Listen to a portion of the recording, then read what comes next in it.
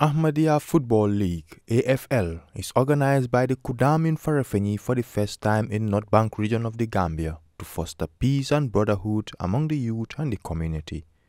Eight villages and three towns within the region came together to formulate four teams, namely Amanat, Safkat, Adalat, and Karnat.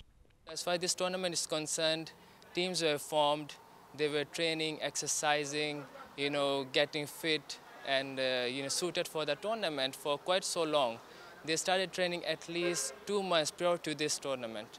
So they're well prepared and uh, actually this was getting them uh, you know, stronger. They belong to different communities and tribes. They came together training for so long and they played the tournament. It got them closer to, each, and you know, to know each other and uh, to develop this uh, friendship, the bond of love and affection. By the grace of Allah, on the 15th of May 2022 was the kickoff for the final of the football tournament at 9 a.m. between Team Amanat and Adalat. After a brief instruction by the referee, the whistle was blown.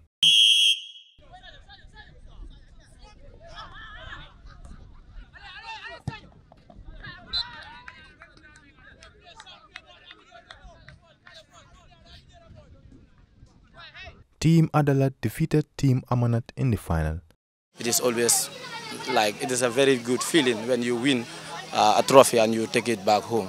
It is always it is always very very nice to win a trophy and take it back home. This is one of the uh, ways in which brotherhoods can be united because uh, football is uh, one thing, one sport that unites youth, not only youth but also it unites people from different backgrounds. The award ceremony then begins shortly after Team Adalat won, held at Farafenni Central Mosque, and it was attended by many dignitaries, including missionary in charge Ustaz Mahmoud Ahmad Tahir, area missionaries, Police Chief of Operation Kakasou, and Momodu Sayo, Deputy Commissioner of Gambia Immigration Department.